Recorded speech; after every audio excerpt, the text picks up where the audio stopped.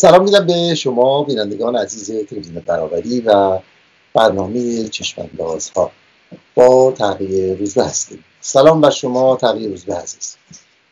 منم همینطور به خودت و بینندگان عزیز سلام دارم. بالاخره انتخابات ریاست جمهوری 1400 آیت الله قاتل رو که به قول روحانی جز اعدام و دار و شکنجه و زندان چیزی بلد نبود رو به ریاست جمهوری رساند. انتخاباتی که با تحریم فعال مردم روبرو شد. بیش از هر زمان دیگری مسئله تحریم های انتخاباتی در این دوره در داخل ایران عملی شد. از تظاهرات درخشان بازشستگان و حرکتهای کارگری و معلمان تا نهادهای مستقلی که همه در واقع تحریم فعال انتخابات رو سازمان دادن و فریاد زدن. مادران خاوران مادران پارک لاله مادران در واقع قربانیان کشتار آبان 98 و هواپیمای اوکراینی و بسیارانی بر تحریم فعال انتخابات پای فشردند. علا رقم تلاش ها برای شرکت مردم ما شاهد یک شرکت بسیار بسیار ضعیف و خلوت بودن همه صندوق های آرا بودیم. ولی در واقع علا رقم اینها یک 18 میلیونی به نام رئیسی ثبت شد. 18 میلیونی که به استهزا بسیارانی اون رو در واقع جز رأی رهبری معنا نمیدن.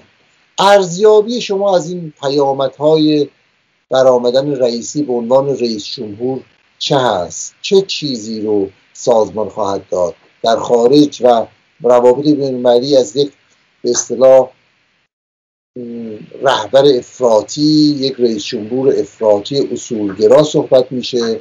در داخل از مردی ذوب شده کامل در بیت رهبری و ولایت خامنه ای صحبت میشه. ارزیابی شما چه هست و چه چشماندازهایی برای دور آتی سیاست در ایران میشه تعیین کرد؟ ببین همونطور که همه می‌دونیم این انتخابات که در واقع چیزی جز انتصابات نبود و همه همین رو فهمیدن. جامعه که هیچ کاملا روشن بود براش و می‌دونست وسط کرده بود. حتی خود بخشهایی از درون ساختار رژیم هم اینو به زبانهای مختلف بیان می‌کنن که چجوری مهندس شده بود و خروجی مشخص بود. مثلا روزنامه مثل جمهوری اسلامی اینا همه اینا رو گفته بودن که مهندسی شده خروجی مردم. و هست.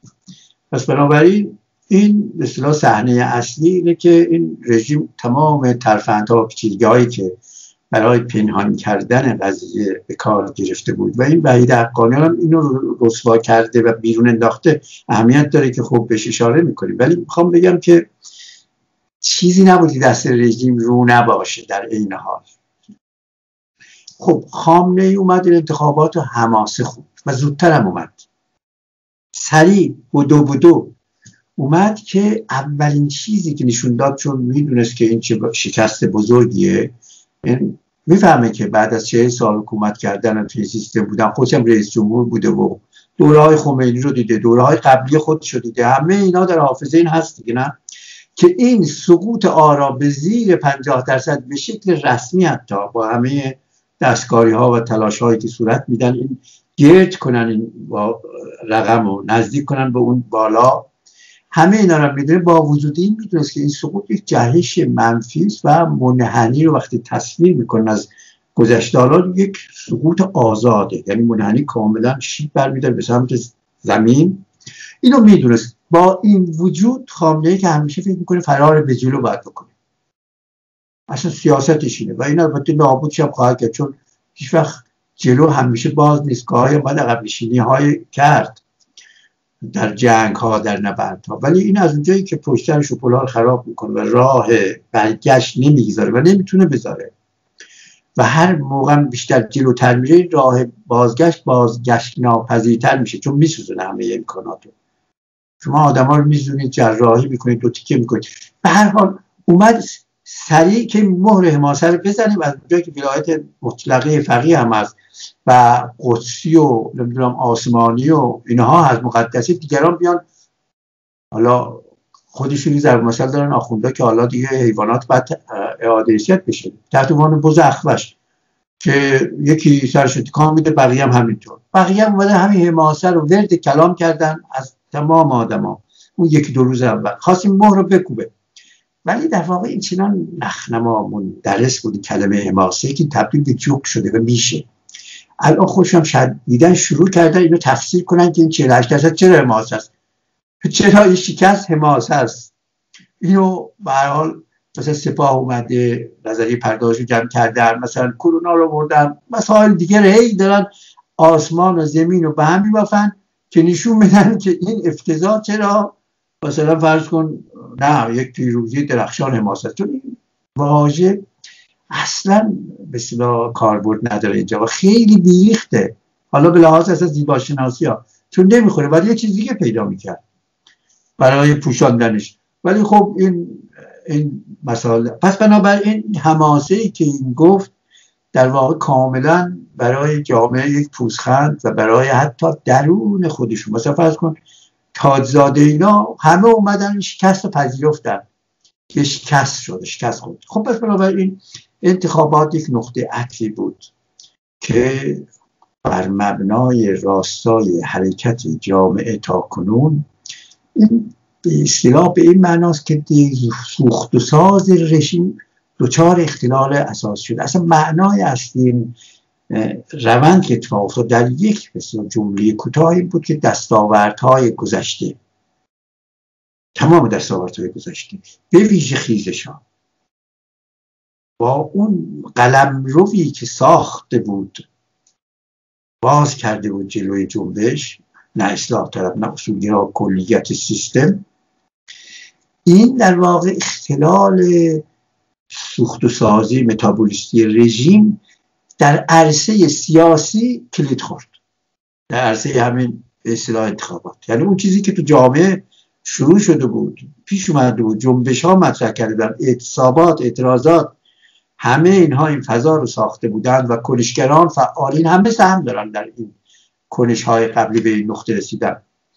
این در واقع چیزی که اتفاق افتاد خودشو پرت کرد به عرصه سیاسی که رژیم می‌خواست به رو خفه کنه و یک دست نشون بده و حماسه نشون بده و در مقابلش اون هم می‌خواست گام دوم ولایت فقیه و تأسیسشو به یک نحوی به اصطلاح کاغذ مهر بزنه.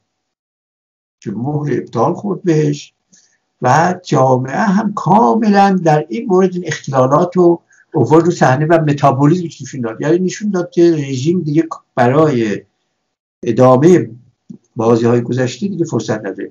این کلامی که بازی تمام شد الان قطعیت پیدا کرد. با تحریم با به کنار زدن تمام ترفندهای رژیم.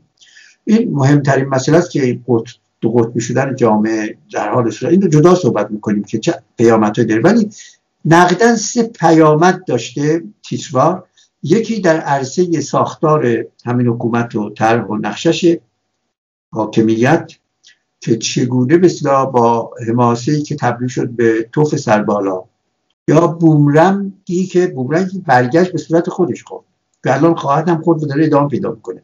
چون همه دارن روزنامه میسر تحلیلگران جامعه شناسان که به این شکل آینده که بر رژیم نیست فروپاشی میشه. اگر اگر حتی رئیسی نیاد راضی کنه. اگر نیاد این کارا رو نکنه. اگر به وعده هایی که داده فلان نکنه. این یک مسئله. مسئله دوم به اصلاح طلبان بودن. یک نه بزرگ هم به اونا بود. اونا کاملا به صورت مثل کدوی گندیده که همچنان مکرر می‌کنم مکرر می‌کنم تاکید می‌کنم فکر می‌کردم با این بسیج میارن روی صحنه آدم ها رو دوباره سوداهای به باد رفته 76 و 92 و 96 و تکرار می‌کنن. با این رفتن چه خیلی آژی ها قبلا به صدا داره بود. ولی خب گوششون کرد بود چون اصلا ساختار جز وجود اینهاست. اینجا نشون دادن که جدا نشدنی هم بخش خیلی زیاد شد. یک نه بزرگی که اینها کاملا پایگاه بسیار پوسیده شون شد با همه توانشون. هیچ نقشی نداشتن. پیام هاشون اومدن رو هاشون از کروبی بگیر از خود خاتمی بگیر از بهزاد کریمی بگیر که در رأس این اجماع سازان بود. کارگزاران غیر و غیر و غیر و همه اومدن فراخواندن بیایید شرکت کنید. بهزاد نبوی. بهزاد نبوی. بله. بله بهزاد نبوی.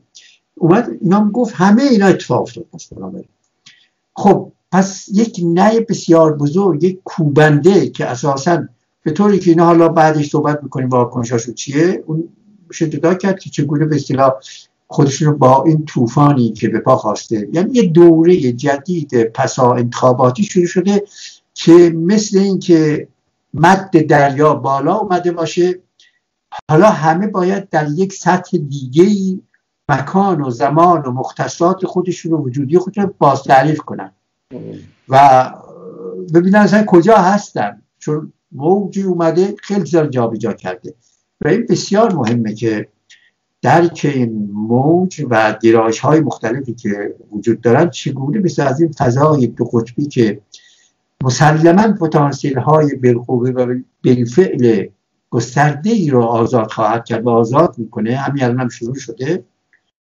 و این در جنبش های دیگه خودش تجوری خواهند داد. این اصطلاح مسئله. پس بنابراین سه تا عرصه بزرگی بود که هر کدوم الان انداخته به دوچار مثلا مسائل و چالش های جدید. جنبش چالش های خودشی داره چگونه گام های بعدی اصلاح طلبان چگونه مثل آب بالا اومده غرق نشن. تلاش های مذبوحانی که صحبت می‌کنیم الان اگه فرصت شد. چون خیلی تلاش های عجیب خریب شد شد یه جوری میگه تازاده یه جوری میگه خاتمی پیام فرستاده. بعد از این شکست و رسوایی بزرگ. یعنی همه چی دست رژیم رو شد. نه اصلاح طلب نه محافظه کار اصولگرا. روی صحنه مهر خورد بهش مهر رسمی. اون چیزی که قبلا مطرح شده بود. در مقیاس کلام این زمین لرزه است. توی این اول همه خود های در, در درون خود حکومت. یک دفعه یک قاتلی به صندلی دوم قدرت در جمهوری اسلامی میرسونن که این هم به واسطه بین تحت تحریم های بین هست. موقعیتی هست که حتی خیلی از کشورها از گفتن تبریک حتی به رئیس جمهور انتخاب شده پرهیز می‌کنن. بعد مسئله خود سیاست هایی که هست با اعتراض های حداقل مردمی و نهادهای بینالمللی مطرحه. خود حقوق بشر یک اعلامیه بسیار روشنی نوشت که نشون داد که این حکومت اسلامی چقدر قاتلین آدمایی که جنایت کارن مسئولیت دارن. این چه فاجعی هست؟ یعنی تمام این عنصر کلیت حکومت اسلامی با این انتخاب به جلو کشیده شد. خود این چه معنایی داره برای خود حکومت؟ هرچند خب مسئله مسئولیت دیپلماتیک داره به عنوان رئیس جمهور شاید به عنوان نفر دوم مطرح بشه موقعیت دیگری است. ولی در هر حال چه موقعیتی هست برای رژیم؟ برای توافقاتی که می‌تونه در عرصه بینالمللی داشته باشه برای بازگشایی ها برای بعد از برجام و همه اینها. که اول همه اینو صحبت کنیم و بعد من سوالی در رابطه اصلاح طلبان بکنم. ببینید در رابطه با رئیسی رئیسی اول که رئیسی حراسی چپ نیروهای دموکرات پیشرو آزادی رئیسی در واقع اسطوره است یک نمادی است بخشی از رژیم. ولی خب اصلاح طلبها یه بخشهایی از روحایی که در در چارچوب سیستم عمل می‌کنن تحت عنوان اینو جدا می‌کنن به عنوان رئیسی حراسی و سعی می‌کنن به پردش کنن. در این حال که این جنایت کرده شاخص است نماد است ولی نماد جنایت رژیمه. کلیتشه حتی خامنه ای هست که هیچ خمینی هم هست. یعنی دوران گذشته رو همه رو به همین وضعیت خامنه هم به هم میدوزه. حافظه تاریخی رو فعال می‌کنه و تمام جنایت ها رو صحنه میشه و این بحثی است که خب رژیم در چه وضعیت وخیمی قرار گرفته که مجبور میشه چنین موره هایی که باید بکشه عقب پشت صحنه میاره رو صحنه. برخلاف مثل عقل سلیمه برخلاف روند های دو تا چهار تا سیاست مدارانه شما ببینید مثلا همین کانداکت که فرای معمولی میدن طرف یه واترگیت پیدا کنه زود می‌کشه حالا مثلا واترگیت جنس داشته رشوه گرفته نمی‌دونم. یه کاری کرده به یکی یه سیلی زده یه تعرض. همه اینها باعث شد بلافاصله میشن کنار. به خاطر اینکه می‌دونن که با این مهر بازی کردن یعنی باخت باخت. حالا حکومت اسلامی ببینید با چه وضعیت عجیب غریب مواجهه که با کسی که باخت باخت از صحنه این همینطوری اتفاق نمیفته. با توجه به اینکه چهار سال قبلم اومده بود واسه رئیس جمهورش کنن حالا اومده. حالا تازه بهش گفتن جملات خیلی قصار کوتاه بگو. چون اساسا خیلی نمی‌تونه اشراف نداره. میترسن تو مسائل جهانی پیچیده اینا همینطوری هرچی بگی مسئله ساز بشه. و حتی سانسور کردن گفتگوهایی که باش می‌کردن. و گفتگوها رو از قبل سوالات بهش داده بودن و این در واقع با آگاهی به اونا و هدایت قبلی سعی کرد به اونا جواب بده. همه اینها یعنی مجبور رئیسی و حتی اینو به اینطوری ترخوش کنه تا این بتونه خوب تو صحنه ظاهر بشه. حداقل منظورم ظاهر بشه. ولی با وجود اینها اووردن صحنه و این دلایلی داره. چون خیلی ها مثلا همین وحید هم گفتم این بحث به همجا کشید که چی هست پشت صحنه؟ همش این مسائل هست و رژیم هم خب با ها خاموش حرکت می‌کنه و اطلاعات نمیده یا جعلی میده. تحریف که ذهنها رو آشفته کنه و از مسائل اصلی بنداز ذهنها ذهن این خب کاریست که رژیم می‌کنه. مهندسی اطلاعات اخبار. به هم دلیل اطلاعات نمیده. خیلی ها در این به آشفته بازار تحلیلایی می‌کنن. ولی واقعیت اینه که سوالات یکی جالب یکی از بینندگان تلویزیون برابری این بود که چرا با یه نفر با این پیشینه وحشتناک نقص حقوق بشر جنایت. کسی که به قول منتظری یکی از بزرگترین جنایتکاران تاریخ لقب خواهند گرفت رو میاره می‌کنه مسئول اول اجرایی حکومت اسلامی رئیس جمهور. علتش چیه؟ چرا در این شرایط کسی به نام رئیسی رو میارن در این دوره؟ مثلا دوره خاتمی میاد دوری از اصلاحات شروع میشه یک سری امیدواری ها یک سری به اصطلاح مسئله تحولات هست یا حتی روحانی میاد یه چیزایی میگه یا احمدی نژاد میاد بسته عدالت میگه. ولی این چه پیامی داره برای جامعه؟ به نظر من دو تا عنصر اینجا خیلی مهمه. عوامل خیلی متعددی در دو مسائل پیچیده اجتماعی دخیلن. دو, دو تا چیز اصلی. یکی این که رژیم در حال پوستاندازی و گذار به یک مرحله است که میشه تحت عنوان بکارگیری مشت آهنین چون اصلا بساط اینه که رژیم دیگه بساط رو جمع کنه. همه بساط جمهوریت و انتخابات و همین دلیل به یک تعبیر اگر رژیم بتونه این رو با صداهای رژیم صحبت کنیم جامعه و نیروهای خارج. وقتی وارد میشن چه تحولاتی بر نقشه های رژیم خودش هم نمی‌تونه خواهند گذاشت اون بحث دیگه است بر ها ولی اون چیزی که رژیم طراحی کرده و داره پیش می‌بره و از تنور در میاره این توبار پیچیده ای داره باز میشه اینه که اصطلاح یک دولت اسلامی که به قول خودش دولت مرحله سومه ایجاد بکنه که خودش از رها کنه. خامنه ای در صحبت های اخیرش دو تا مسئله بسیار مهمی تا گذشته مطرح که و دو تا کد محسوب میشن. مطرح کرده که این اصطلاح کمک می‌کنه به ما در اصطلاح این مسائل روشنگریش. یکی مسئله این گفتش که مافیای وارداتی برای اولین بار به این شکل صحبت کرد که در او یا همین حکومت یه مافیایی که خودش رهبرش بوده تا مافیای وارداتی وجود داره. این نشان از اینه که در دوره جدید جنگ اقتصادی و جنگ تصاحب مافیاهای وارداتی هم یکی از عرصه هاست و اینا چشم طمع گفتن به جناهایی که در این عرصه فعال بودن و به اینا خوشون نمیمده به هر حال. یعنی به جیب اینا به قدر کافی نمیریخته شده. این یک جنگ برای مافیا. که اینو صحبت اگه لازم شد من جداگانه می‌کنم. مهمه این مسئله. چون خیلی ها به این توجه نمی کنیم و در حالی که جنگ جنگ های اقتصادی هم داره و تقسیم کک کک اقتصادی. فقط که قدرت نیست. قدرت در واقع برای همکیک اقتصادی هم هست. یک مسئله دیگه خامنه ای صحبتی کرد در صحبت های اخیرش. یک بار دیگه یک چیزی که قبلا مثلا کرده بود فیتیلش خاموش کرده بود. اون تحت عنوان جمهوریت بود. که این جمهوریت لازم نیست به این شکل حتما خودش رو باستاب بکنه انتخابات ریاست جمهوری این مشکلات. بلکه مثلا دموکراسی به یک شکل دیگه دموکراسی دینی به شکل دیگری ممکن خودش نشون بده. این دوباره و زبان. این بی هدف نبود بی خودی پرتاب نشد در این دقایق آخر قبل از انتخابات. و کاملا روشن بود که یکی از پروژه های دولت بعدی که سودایی که قبلا هم داشت ولی امکان تحققش نبود چون مستلزم تغییر قانون اساسی و خفه کردن رقعا و جامعه است که از درون این تغییر ساختاری رسمی قانون اساسی چیزی یه دفعه بیرون نریزه کنترل شده باشه. چون چنین تفوقی رو مرتبی رو مرتبی احساس نمی‌کرد. در نتیجه اینو مشکوک کنید تا شرایط. الان می‌خوام مثلا فرض کنید رئیس جمهوری که به این شکل انتخاب میشه تبدیل بحران شد. این دفعه دیدیم شورای نگهبان حتی تیپای مثل محسن رضایی حتی سعید محمد به رفتار شورای نگهبان اعتراض کردن. لاریجانی ها جهانگیری ها اصلا کسی نیست که راضی باشه. به خاطر اینکه چنان استبداد بیکران و موسیقی شده که اصلا قابل دوام نیست.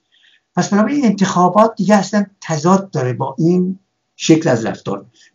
اگر این دفعه منفجر نشکلان به یک دو قطبی بزرگ تحریم تبدیل شده و اقلیت یعنی نظامی که الان از درون این برخواسته می‌خوان تاسیس کنن نظام اقلیت جامعه است.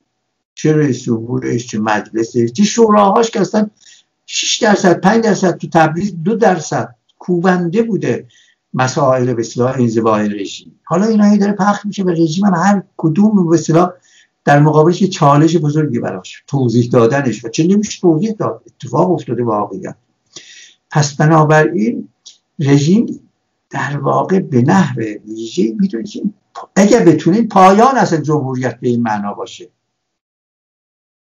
اصلا جمهوریتی وجود نداشته ولی دور اول ولایت فقیه بوده با یک تولرانسی. حالا دور دوم ولایت فقیه با یه تولرانس دیگه. معناهای واقعی تحول جزئی نیست چون نه جمهوری از اول بوده. ولی این بافتارش این اعتلافش این بلوک گسترده ای که همین ولایت فقیه تشکیل داده این بسیار تنگتر و فشرده تر و مچاله تر شد. خب چرا؟ برای اینکه اصل بقا. پس بنابراین سوالی که کرده بودن که بینندگان مطرح کردی. یک مسئله اینه که رژیم داره پوست اندازی می‌کنه. در واقع به سمت همین میره که انتخابات رو حذف بشه. دیگه پاسخگو هم نیست. اصلا قرار نیست. همه باید انتصابی باشن. حتی مجلسی رو که الان ذوب شده از همون مجلس قبلی شبیه اینا رو شکل دادن تمرین کردن.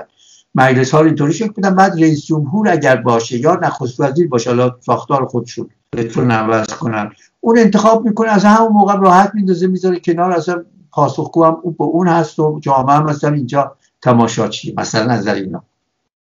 یعنی اینا بحث پس بنابراین یک مسئله.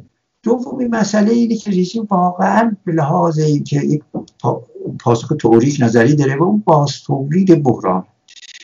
یعنی رژیم به شکل عمیقی اصلا این مثلا واژه این مثلا مفهوم تمام به بحران رو میپوشونه و تحلیل می‌کنه. یعنی بحران عمومی باستولید رژیم نمی‌تونه خودشو باستولید کنه؟ هی با میره به دلایل که جامعه بیرون کشیده و بحران ها در بیرون از اون چنبره زدن. و کوچیک میشه فشرده میشه. این بحران باستولید یکی از تجلیات این که رژیم نمی‌تونه خودشو باستولید کنه در کارهاش هم نمی‌تونه باستولید کنه. در کارهای لازم در نیروهای لازم. مورد اعتماد خب مثلا احمدی نژاد تجربه داشتن دیدن که خربوزه که به قول خودشون باز نشده خطرناک. این سعید محمد نار چرا کنار دادن؟ دقیقا به خاطر همون تجربیات بود. اینا با خیز اومده بودن بیان جلو صحنه دیگه. رضایی ها اون خیلی های دیگه دهقان همطور شما ردیف شده بودن. رستمی غیره و غیره من عرض کردم چرا؟ دقیقا به خاطر اینکه اینها دیگه با قول معروف چاقو به شرط چاقو. رئیسی کسی که چاقو به شرط چاقو رو داره. یعنی از این آدما کم دارن که ذوق شده امتحان پس داده در طول زمان هست. اینو به اصطلاح کار ندارن از سر پیسی آوردن و ضمنا مسئله رو من فقط یک تتمه هم به این اضافه کنم. اونی که رهبری رو هم که بحث زیادی است که رئیس جمهور اومده با رهبری که به عنوان جانشین مسئله چون که مسائل هم, رهبری و گذار از این وضعیت رئیسی و اینا چه حلقه ای داره این هم به این ارتباط داره که اینو میشه جدا صحبت کنید چون خودش این مقدار تفصیل می‌خواد. ولی رژیم می‌خواد این تضاد در کنه چون خیلی فکر می‌کنم خب اومده رئیس جمهور میسوزه و اینم یه شانسیه یا یعنی کاملا یه گزینه است سناریوس جدی هم هست. از یه طرف دیگه چرا اوورده و ضرورت داره که این به دوره رو ببینه؟ و چهار سال مثلا بگذرونه چون قبلا می‌خواستم کنه نشد. تا بتونه رهبری بشه که پر کنه خلل. این سه تا حال من یکم اضافه کردم وسط صحبتم. سه تا عامل شد که برای پاسخ به اون دوستون در رابطه با اصلاح طلبان شما ما شاهد در واقع این بودیم که اینا بالاخره بعد از بسیار تردیدهای بسیار و شرکت کردن در انتخابات و خواهان این شدن که برن مردم رأی بدن. ولی بیش از هر چیز انتخابات شوراها نشون داد که اینا اصلا کاملا از صحنه سیاسی حذف شدن. حتی یک نفر نماینده اونها در مثلا شورای شهر تهران انتخاب نشد. تمامشون پنج درصدی که به چمران و دختر سلیمانی و همسال هم رأی دادن و اون به اصطلاح لیست قالیباف نشون داد که هیچ جواب یعنی پاسخ قاطعی هست و تاکید مدام مردم بعد اینکه اصولگرا و اصلاح طلب دیگه کارشان تمامه. ولی خاتمی یک پیام داد. پیام داد گفت که هم عدم شرکت بیش از پنجاه درصد مردم و هم رعی های باطله پیام پیام روشنی برای حکومت داره. نمیشه این قهر رو جدی نگرفت. و در این حال اومد یه به اصطلاح تا حد زیادی برای بازسازی خود هم دولت و هم جریان اصلاح طلبان پیام هایی داشت. بقیهشون هم در واقع تا حد زیادی روی این زمینه حرف زدن. ارزیابی شما از سرنوشت و آینده این اصلاح طلبان چه هست ببینید این مسئله اصلاح طلبان مسئله واقعا در این ماجرا شدت بسا زیر ذره رفته و تبدیل شده به یک بحران بزرگ در درون خودشون را در اینجا به نظر اولا اینکه یکی از بسیار مسائل فرعی تر نسبت اون مسائل هستی و در روزنامه خیلی بررسی میشه. همین در واقع شوک رعی های باطل است. این که اشاره هم کردی چین پر از بسیار تناقضات و بحث ها الان دارم می‌کنن همه. که اصلا این چی است؟ هشدارش چی بوده؟ این مشخصا این رعی های باطله اون بخشی از جامعه خاکستری اون رعی های بسیار شناور. رعی های حتی شناور هم نمیشه گفت تردید. چون جامعه هنوز یک دستیش کامل نشده. این عنوان عقبه موج بسیار فرافکنانه تحریم که نتونسته همه رو هنوز قاطع همون چهار میلیون هم جذب کنه در خودش اینو به پرتاب کرده یعنی رفته تو داخل اونها بینا بینی ها این چیزی جز عقبه اون نیست. به رژیم البته تمام بسیار چیزهاشون حرفاشون نوشتن. و همین های سفید. مسئله جوک هاشون رو گفتم مسئله نمی‌دونم قیمت ها رو افزایش جهش گفتم وعده هایی که دادن جوک شده اونا رو نوشتن. چهار میلیون تا احتمالا جوک اونجا هست. حالا باید ادبیات و لیست جوک ها در بیاد ببینیم چی میشه بعدها چی پرونده تومار عظیم ببین اونجا اصلا خب ذوق اونا فعال شده و ضمن اینم روشن. جامعه ما الان خیلی سیاسیه. وقتی دو قطبی میگیم معنای واقعش باید بدونیم. چه اونهایی که شرکت کردن حتی رژیم که به اون شکل سیاسی قطبندی شده شرکت می‌کنه چه اونهایی که نکردن؟ یعنی تحریم بزرگتر بخش اعظم جامعه. پس بنابراین در یک فضا دو قطبی وقت صحبت می‌کنیم باید بدونیم که فرق می‌کنه با کشورهای اروپا با کشورهای نرمال با کشورهای عادی که مثلا یک 40 درصدی 50 درصدی 60 درصدی شرکت می‌کنه جامعه به شدت سیاسیه. با گرایش های مختلف با قطبنده های مختلف اینا. ولی کل جامعه اینه. این یک هیجان یک التهاب عمومی است که بیقراره. این بیان از روانشناسی و توجه هایی که توش میگذره و مهم در شرایط قطبندی هم اینه که چپ نیروهای دموکرات نیروهای پیشرو در زمان ریتم بحران شتاب میگه کجا هستن. اینجا اگر حضور داشته باشن وجود داشته باشن بخشی از این روند باشن طبیعی است که می‌تونن در این روندهای بعدی تاثیر گذار باشه و این زمان اینطوری نیست. خب اصلاح طلبا دقیقا به خاطر اینکه از این دو قطبی به صورت به صورت پرتاب شده یک چیزی که نه اصولگران در پرتاب شده رسمیت نشون داده شد. که شما کنار رژیم هستید بدتر از نام هستید. چرا بدتر؟ به خاطر اینکه اصلاح طلبان دقیقا در چهره تحریم شکنان وارد شدن. ما می‌دونیم که تحریم شکنان چجوری منفورترین نیروها هستن همیشه در شرایطی که جنبش مبارزات هست و داره شکل می‌گیره. چون اینا معمولیت ویژه‌ای دارن رسالت ویژه احساس می‌کنن. که همواره اون چیزی که مثل خود جناح حاکم اصولگرا به لحاظ انزوای مطلق به لحاظ که آمات قرار گرفتن اصلا نقششون نمی‌تونن ایفا کنن اینها می‌کنن. همین ها و این کار کردن. در شرایطی که این همه گزارش شدن اطلاعات داشتن می‌دونستن به اصطلاح خود جامعه قهر کرد. ولی میگن جامعه قهر آشتی می‌کنه آشتی می‌کنه دوباره برمیگرده و معجزه گذشته اتفاق میفته هفتاد شش. ولی خب آوار بهمن اومده بهمن آوار اومده اصلا مثل چی؟ اینا رو قرد کرد. گیر خودش مدفون کرد.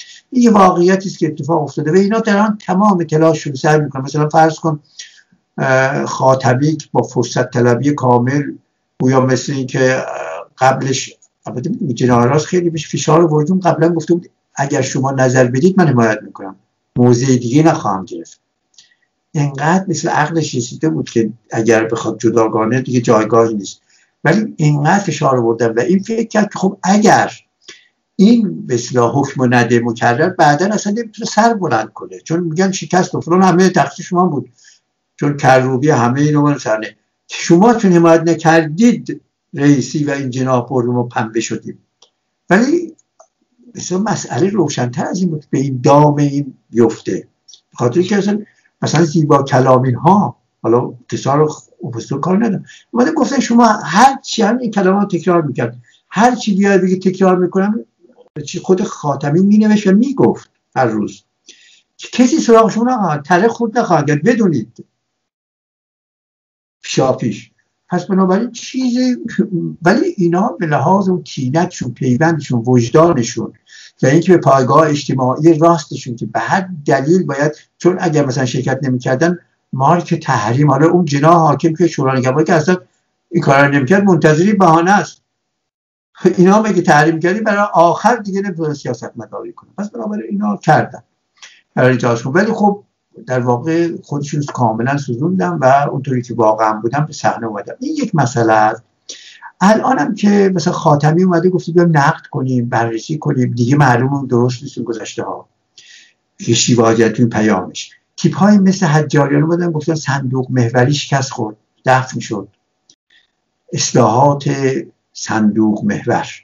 و بعد حتی تشییع جنازه اومد. ببریم اونجا به چیزهای پزشکی ببینیم که چرا این دفن شده و علت مرگش چی بوده. و تازاده هم به یک صورت مفصلی وارد شده و پتار میگن حتی تیپای مثل حجاری زاده اینا نمیگن اصلاح طلبی مرد. حاضر نیستن واقعیت پذیرن. و دوره پسا اصلاح طلبی رو که وارد شده به رسمیت تمام تلاش های مذبوحانه اینه که چگونه میشه تو این طوفان دوباره سر بلند کنن. با همون هویتشون با همون خواستاشون رنگ و آب جدیدی بدن خودشون در نتیجه میگه که صندوق محور شکست خورد. تازاده میگه سی چهار سال ما میشه جبهه سوم بیایم منفعل باشیم صحبت نکنیم سیاست نکنیم فلان نکنیم خود جمعنده کنیم بعد وارد انتخابات بشیم. نجات بدیم مسائل رو. ببین به اینجا رسیده هزیانگویی ها یعنی آشکارا میگن بیای مثلا سکوت کنیم انفاق ولی نمیگه که چرا تحریم شکنی کردیم. چرا اصلا این کار اتفاق افتاده و چه مرضی داریم ما؟ باید که بخوایم تحلیل کنیم بعد بفرضیم که بخشی از اندام رژیم. من نمی‌تونم جدا از رژیم زیست مستقل داشته باشن. خب این واقعیتی است که الان های جدید و گراش های جدید می‌خوان اصلاح طلبان و حول این شعارهای جدید و خلاصه بگم. نوع جدید از اصلاح طلبی به اصطلاح. ورزیون جدیدی از اصلاح طلبی به اصطلاح. اصلاح طلبی در چارچوب سیستم با شکل و نوع جدیدی رو به اصطلاح بتون خلق کنن. ولی چنین چیزی مثل که از مرده شما بخواهید زندگی رو خلق کنید امکان پذیر نیست. این آقای وحید حقانیان در واقع معاون امور ویژه دفتر رهبر از امدادهای الهی و شرکت در واقع همتی و دیگر شرکا در انتخابات قدردانی کرد و گفت که اصلا برای جور شدن در واقع این جنس انتخابات بسیار لازم بود و یک سری صحبت ها کرد که در واقع تا حد زیادی عکس های فراوانی رو برانگیخت. اینو گفتین ارزیابیتون چیه؟ چرا یک دفعه ایشون یک دفعه وارد شد. مرد هموار پشت صحنه در واقع دفتر رهبری. بله خب این اعتبارش رو از اینکه کنار خامنه ای بوده مدت های طولانی و همواره سعی می‌کرده کنارش باشه و بعدم پیام های رو چیزهایی رو این بر پس قامی رو منتقل کنه از رهبری به دیگران دیگران به او. و حال نقش رو صحنه. خودش به عنوان مثلا یک گرایش خاصی حزبی یا جریان هایی که مطرح نیست ولی خب به اعتبار ساختار قدرت کجا هست. مطرح و این خیلی اهمیت پیدا کرد به خاطر اینکه اولا بیت رهبری زی ذره بود اون شکاف ها و مسائل چه هست چه میگذره. آیا این جامعه که هیچ جاش دست نیست دست می‌زنه گراش هایی در درون خود ساختار قدرت بانتا در درون خود بیت رهبری هم لانه کرده یا نه؟ خب این یک به قول معروف از اون جا حفره تاریخ خانه فراموش اونجا هست از یه چیزی بیرون زده. خب همه توجه می‌کنن چون قدرت کانونی شده اونجا.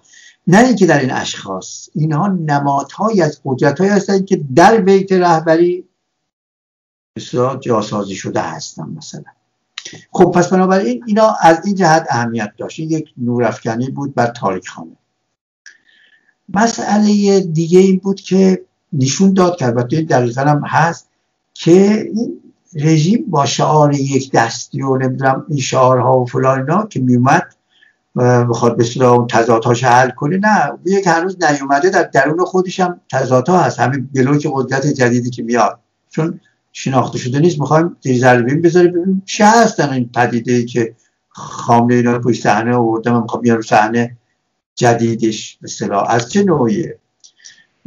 البته این روشنه که رژیم که از فرشتگان که نیرون نمیاد از آسمان. از همین آدم ها گزی می‌کنه به اینا و همین اصولگرایان همین سپاهیان همین نمی‌دونم بخش های مختلف اصولگرایان. پایداری اون یکی نمی‌دونم دو سه تا شکل شدن دیگه.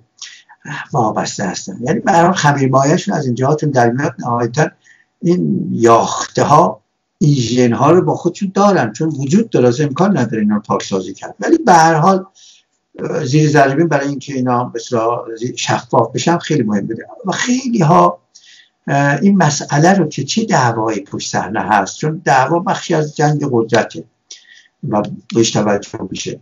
هست این توجه بشد این معلوم شد که اولا به هر حال خواسته نخواسته یک جور مهندسی رو رو کرد در این حال با این صحبتاش یعنی نشون داد که دی حداقل اونجا پوششی هستن و نمایش برای, برای همین اومدن که البته برای جامعه مثل از حرم شمس بود. روشن بود. ولی خب یکی از درون بیتم بیاد به این سهه بذاره خب جالبه. بعد اون این کار کرد یک مسئله. و این به هم مثلا تصنیم اینا سپاهیان که اینا رو مهندسی می‌کردن همین اصولگرایان سپاهیان یه دعوایی دارن معلوم شد. اصلاح طلبا یعنی که خوب کنار رفتن. معتدلین که کنار رفتن. میان روهای اصولگران که کنار گذاشته شدن. ولی سپاه که وجود داره سپاه خودش مستقیم هنوز نمی‌تونه تمام قد بیاد تو صحنه.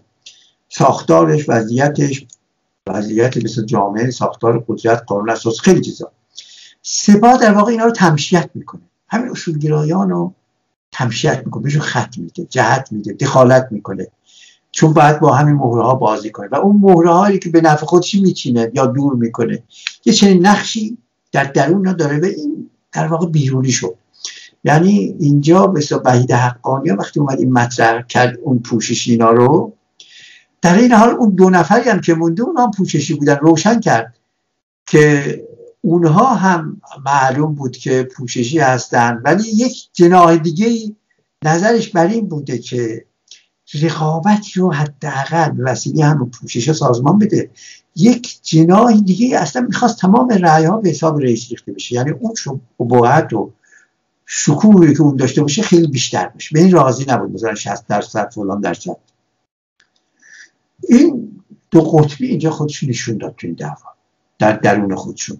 خب این هم یک افسانه بود که چندین افسانه گفتم اینجا به صلاح خودش رو به نشون داد که دیگه تلس میشه شکسته. یکی همین مسئله یک دست سازی رژیم اصلا نه فقط یک دست سازی رو دیگه نمی‌تونه اجرا کنه. اصلا وجود خارجی نداره چنین پدیده ای بلکه حتی نمی‌تونه هم بکنه. چون می‌دونی که هیچ رژیمی هیچ قدرت یک دست نیست جهان و نمی‌تونه باشه. بحث من چراشو خارج از بخشی از وارد نمیشه مثلا در تمام کشورهای دیگه همه جا. هم میشه ولی نمایش قدرت به یک دست با توجه به فرادستی یک باند و خطوط مناسباتش و استبدادش می‌تونه تظاهر بیرونی ظاهری داشته باشه برای یه مدتی. صدام داشت کره شمالی داره ولی حکومت اسلامی از اول نداشت به این شکل نمی‌تونست داشته باشه. شرایط ایران فرق می‌کرد. انقلابی از پا یه جور اتفاق اینا اومدن روی سوار شدن و روحانیت خودش تشدد داره. چند مرکزیه. پس بنابراین مسئله مهم اینه که اینها قدرت پوشاندن تضادهای گریشان دارن. پس اون افسانه هم که می‌خواستن بزنن یک دستی فلان اراده فشرده حماسه همه اینا به باد رفته وجود نداره. بلا فاصله در شکلهای جدید در بدترین شکلش خودش رو رونمایی می‌کنه. ما می‌بینیم اینو این صحنه رو.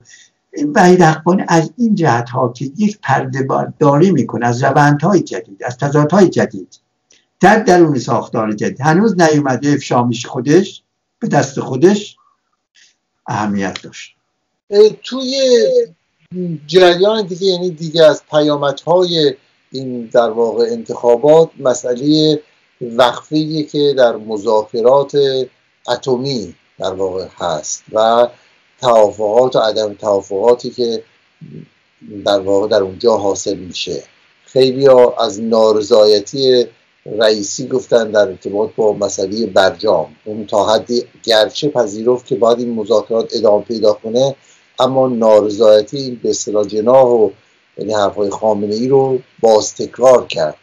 و این خودش یک سری تاثیرات رو داشته. در این حال ما شاهد خرابکاری های بزرگ اسرائیلی یا خرابکاری های بزرگ هستیم توی صنایع اتمی ادامه پیدا کردن این خرابکاری ها انفجاراتی که شده و حملاتی که شده به برخی از به اصطلاح مراکز اتمی حکومتی مشکلاتی که در بوشهر ایجاد شده همه و همه دست به دست هم داده که میشه گفت که این پروژه حتی اتمی حتی پروژه مذاکرات اینها قبل از اینکه خود مذاکرات به نتیجه برسه مسائل اتمی ایران از طریق یک حرکت نظامی یا یک حرکت نظامی مخفی و امنیتی در حال فروپاشیه. این قضیه رو چطور میشه ارزیابی کرد و چقدر در توان حکومت اسلامی خرابکاری ها تاثیر می‌ذاره در توان حکومت اسلامی در مذاکراتی که با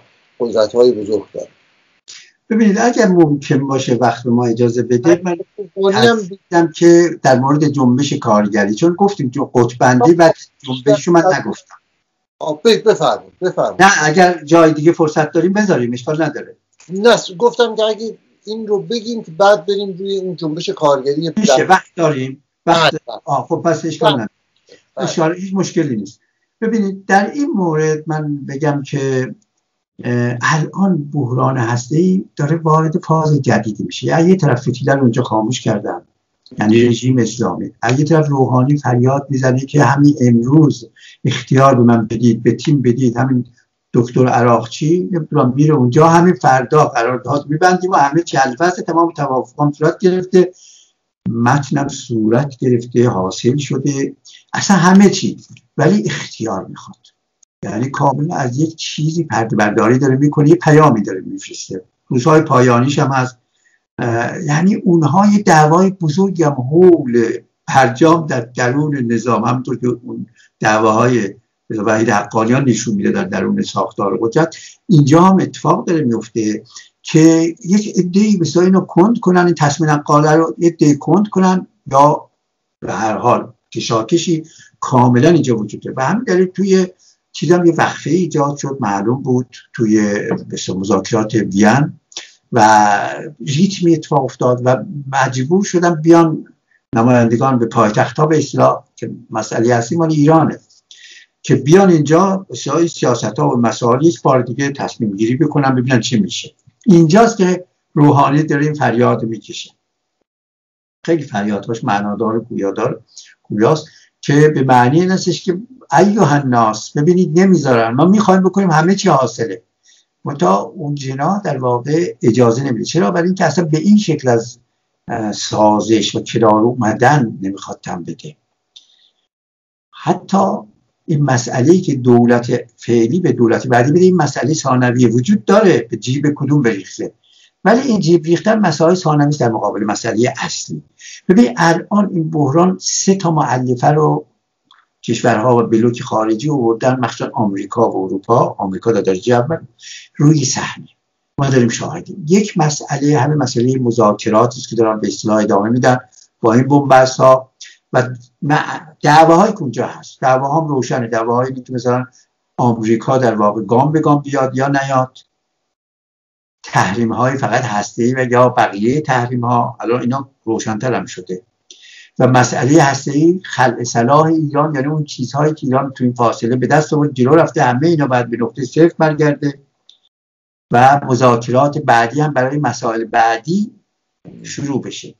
ببین این مسائل کاملا حل نشده مونده. و صریح داره میگم مثلا بلینکن هم گفته سخنگویان آمریکا هم گفتن. تمام اونا که اظهار نظر می‌کنن حتی روس ها چینا یعنی یه دوستا مسائل اینا مونده. ولی مسئله اصلی که رو کاغذ توافق شده اینها به طور کلی. ولی قول همه مسائل به هم گره خورده و هیچ کدوم نمی‌تونه به تنهای حل فصل بشه. این یک مسئله است. ولی سه مسئله روی کار باید یکی مذاکرات یکی مسئله تهدیدهای نظامی است که اومده روی میز. که اسرائیل هم الان دوباره این حملات باز تایید که حتی دولت جدید هم معلوم شد که تو اسرائیل وقتی میاد هدفش اینه که گفته با آمریکا همکاری بیشتری می‌کنه در رابطه با ایران و فشارهای ایران که هم اختلال ایجاد کنه در مذاکرات هم این حملات همزمان ادامه پیدا کنه. یعنی دولت جدید با دو تا مشخصه وارد شده. دولت جدید اسرائیل. چون حملات صورت گرفته و ضمنا تیم مذاکراتی قوی برای تاثیرگذاری و در کابینه آمریکا لابیگری و در مذاکرات. و با کشور عربی هم گفته دارم می‌کنم. یه هماهنگی وسیع ایجاد کنن که کارشکنی از در اونا دارم میگم. در مورد پیشرفت حتی مذاکرات بکنن پس بنابراین یک بازوی نظامی است که به این شکل حتی این دفعه با پهباد حمله شده و این نشون میده که از داخل خود معلوم شده از داخل ایران می‌کنه و این مسئله است که امروز تکنولوژی دیگه نشون میده که این از قابل کنترل نیست. و جاسوسا فلان یه پهبادی که تکنولوژی دارن یه جا می‌سازن کاملا در شده با عملیات می‌تونن کارا رو بکنن یا نکنن. اگر اراده سیاسی یا تصمیم باشه پس من آسیب پذیر خیلی شده. این مسئله دوم پس نظامی. مسئله سوم اینه که مسئله وزرات هسته مسئله عدم نظارت به آژانس اجازه ندادن. اینها تبدیل میشه به یک قطنامه رومیز قرار داده شده که اگر رژیم ایران این بازی مذاکرات رو تن نده چون می‌دونید که عراقچی حرف نهایی هم زده. الان میگم میگن تضمین. یکی از مسائلی که مطرحه که آمریکا با تضمین بده. یکی از مقامات آمریکا الان گفته گفته خود رژیم اسلامی حکومت اسلامی می‌دونه که تضمین به معناست. هیچ دولتی نمی‌تونه بده. بهترین تضمین همینه که قرارداد خوب اجرا کنین خوب اجرا کنین همین مثلا برجام و عقب نشینی کنی همه رو خوب دقیق اجرا کنی و, بعد مذاکرات بعد بهترین تضمینه. اونا گفتن. پیامی که در ولی ایران واقعیت اینه که بدون دریافت تضمین در واقع یه ریسک بزرگه. یعنی شما همه چیز میپذیرید خرسلا میپذیرید. همه کار قدرت چانه زنید که الان داری از طریق مثل بازگیری هسته و در واقع به تقیان هسته ای گریز هسته ای نزدیک شدی چون حربه بزرگ اسرائیل حمله می‌کنه. اسرائیل هم می‌خواد بگی شما اگر نتونید من بدیل رو دارم. یعنی بدیل حمله بالاخره می‌تونیم بکنیم. و ما اینم باید بدونیم که تاسیسات هسته نه فقط به لحاظ هزینه های نظامی بسیار گران تمام شده برای جامعه در این دو دهه سه دهه. و از نظر فقر اقتصادی از نظر تحریک دشمنان میگانگان خارجی ها هر کس میشه بذارن این به دلیل هم سیاست های حکومت اسلامی. این به این دلیل تحریم شده. خیلی مهمه که به اصطلاح حملات هسته آسیب پذیری و بسیار از ایمنی پزشکی بهداشتی محیط زیستی رژیم نمی‌تونه. اینم دستش رسوا شد. گفتم بحران عمومی ایران در هر قطعه لحظه موردی نشون میده بحران باستولید عمومیه. در حوزه هسته در حوزه اقتصاد در حوزه مقابله کاملا دستها بالاست. یعنی آشفته است و این تکرار شده مکرر شده. ماهواره این هم الان نتونست پرواز بده. برای چندمین بار مدت سکوت کردن حرفشون نمی‌زنن ولی شکست خوردن یعنی بسیاری بسیار ارزاست که رژیم فقط چنگ بودن می‌تونه بر مردم بکشه. مردمی که حالا باید صحبت بکنیم که دقیقا. همون از مردم اگر شروع کنیم تظاهرات سراسری کار اعتصاب سراسری کارگران نفت پتروشیمی توی بیش از چهل مرکز شرکت و چیز ادامه داره. خوشبختانه با حمایت بسیار خوب سندیکای کارگران هفتپه سندیکای شرکت واحد تشکلهای مستقل کارگری روبرو شده و علا رقم که دندان تیزی رو حکومت اسلامی نشون داد با 700 اخراج 700 کارگر در واقع در تهران در پادشاه تهران علا رقم این اعتصاب گسترش پیدا کرده و یک میشه گفت که دوری جدیدی از نبرد آغاز شده. خصوصا این مسئله بعد از انتخابات 1400 و به اصطلاح پیروزی ادارتخواهانی که مبارزه با فساد و خودسازی ها و اینها رو تا حد زیادی مطرح کردن خیلی اهمیت داره. مسئله خواستایی که اونا مطرح می‌کنن هم مسئله افزایش دستمزدها هم مسئله لغو و انحلال تمام شرکت های پیمانکاری لغو خصوصی ها مسئله دوازده میلیونی حقوق همه کارگران و مسئله 20 روز ده روز 20 روز کار ده روز مرخصی تشکل مستقل کارگری همه اینها رو که مطرح کردن و پایان دادن به امنیتی کردن نظامی کردن فضای در واقع پالایشگاه ها و اینها یکی از خواستهای عمومی این در واقع کارگران اعتصابیه. خصوصا هم در این شرایطی که هم به اصطلاح کارگران فصلی قراردادی موقتی پیمانکاری و هستن هم کارگران رسمی. یک موقعیت تازه است. این رو چطور میشه ارزیابی کرد خب مسلمه که مسئله جنبش کارگری الان خیلی مهمه. این حرکت توش مخصوصا چون یه بخش استراتژی جنبش کارگری و طبقه کارگر بخش های مهم تشکیل شده و استراتژیک بعضا. که یکی از اون بخش های استراتژیکش همین نفت و سوخت و اینها هستن.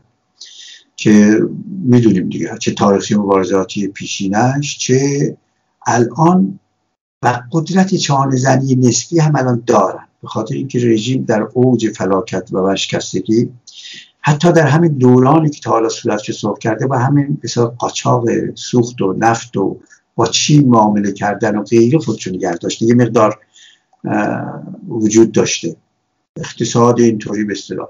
ببین پس بنابراین الان مخصوصا می‌خواد دوره گشایش هم ایجاد بشه و ابعادش هم زیاد شد تو چین هم به نفت خیلی احتیاج داره و اهمیت داره و قیمت های ارزانی هم که ایران میده و اینا. به هر حال بازار خب اینجا هستش که در این شرایط قدرت چانه زنی کارگر به طور نسبی بالا میشه. ضمن اینکه تورم و اقتصاد و اومدن آب به بالا اینقدر زیاده که دستاوردهای کوچک لحظه ای پاسخگو نیستن. هی باید ارتقای مداوم داشته جامعه داغه پول داغه. کف دست نمیمونه پول تورم. خب این یه واقعیتی است که ما باش مواجه هستیم. و این اهمیت داره به خصوص که همینطوری هم که اشاره کردی بخش های رسمی بخش های پیمانی هم اینجا از چیزای مهمی که با هم هماهنگ شدن و اینها در بخش های مختلف شهرهای مختلف استانهای مختلف سراسری شدن. این اهمیت بسیار مهمی داره این یک مسئله. متا در این حال ما وقتی از بسیار همین مسئله تحریم صحبت می‌کنیم در واقع تحریم تحریم انتخابات یک نمودی از یک رویکرد کلی جامعه است که این در واقع مستاقشه اون جامعه اینه که گذر کنه از کل سیستم از رژیم به پسا رژیم این واقع جهت کلی هست. در این راستا واقعیت اینه که به نظر من میاد که خود این دو قطبی شدن باید ببینیم چگونه چه پیامدهایی داره.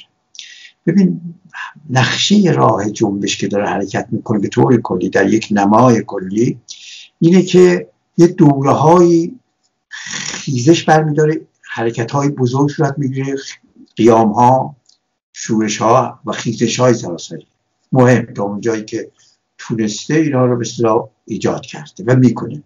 اینها همراه با های مطالباتی بعدش کم زمان اتفاق میفته و اینها با ریتم های جدید دوباره در ادامه موج های بزرگ موج های کلان که شورش ها هستن این انرژی ها تبدیل میشه به خواست های مطالبات به شکل های دیگه در امواج دیگه در خطوط دیگه خودشو باستولید می‌کنه.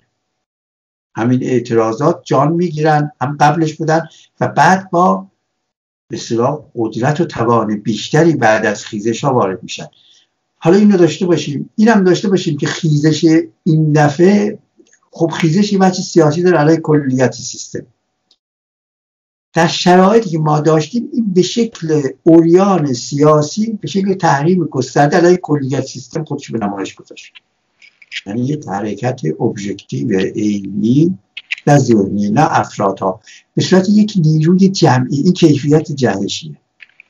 یعنی همیشه ما اعتراضات داریم داریم. الان کارگران هم داریم به بخش های مختلف.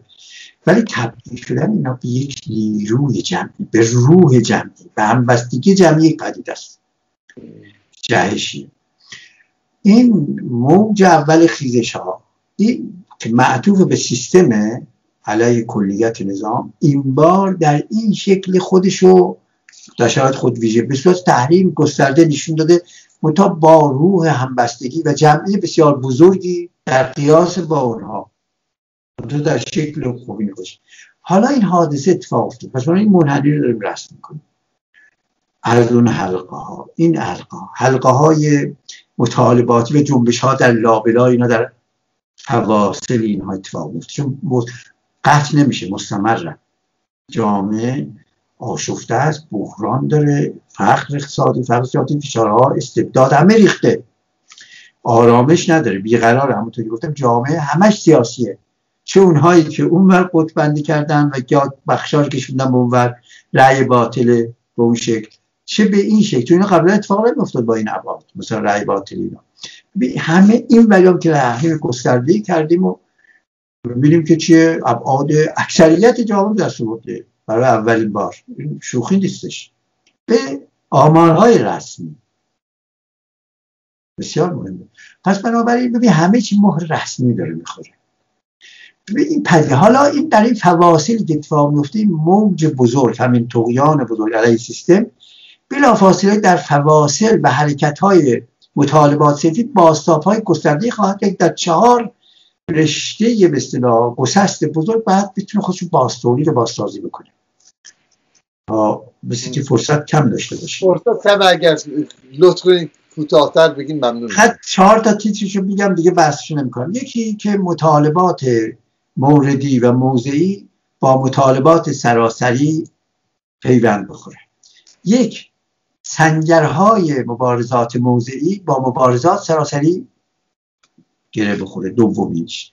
سومی در واقع جم... اینها با خیابان باید گیری بخورن. یعنی جنبش های مطالباتی با خیزش ها خیابان که گسست های کامل بسیار که در گذشته وجود داشته در جاتی از بین بره.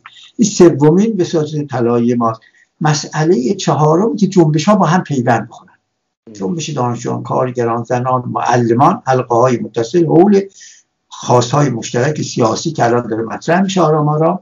ما در واقع با پیدا شدن هیکل و اون چیز کشتی که از دور بیاد تلایش پیدا میشه خطوط چهرهای بزرگ آرام آرام ساخته شد اینجا گفتمان سازی به عنوان مکمل اینها سیقلیابی اهمیت بیشتری داره که یک مجموعه ای رو بسازن و البته چپ ها می‌تونن در درون این دایره از اون حالت فرقه‌ای جدا ماندگی در خود فرو رفتگی در بیان. در بطن نیروهای کنشگر خودشون بازسازی بکنن و به موقع با ریتم بکنن درود در شما.